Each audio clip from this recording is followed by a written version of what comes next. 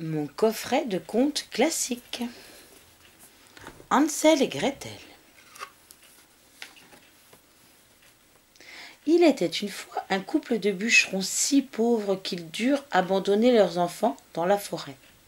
Se retrouvant seuls, Hansel et Gretel marchèrent jusqu'à déboucher sur une petite maison entièrement faite de sucreries.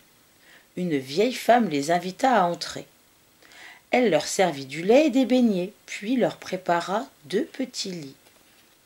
Elle a l'air gentille, cette dame. Le lendemain matin, les enfants réalisèrent que la vieille était une sorcière. Elle attrapa Hansel et l'enferma dans une cage. Prépare à manger pour ton frère, ordonna-t-elle à Gretel. Il est encore trop maigre pour que je le dévore. Comme la sorcière était presque aveugle, elle tâtait chaque jour le doigt d'Ansel pour vérifier s'il avait grossi.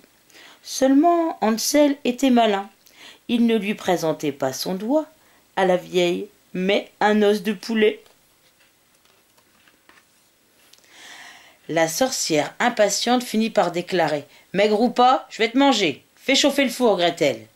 La petite fille obéit, mais lorsque la vieille approcha, elle la poussa à l'intérieur du four et referma la porte. Elle délivra ensuite son frère. Viens avec moi, lui dit-elle. Il y a des pierres précieuses cachées partout dans la maison.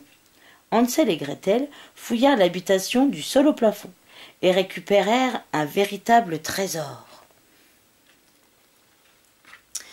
Ils regagnèrent ensuite la forêt et finirent par retrouver leurs parents. Ceux-ci les serrèrent tendrement dans leurs bras en les apercevant.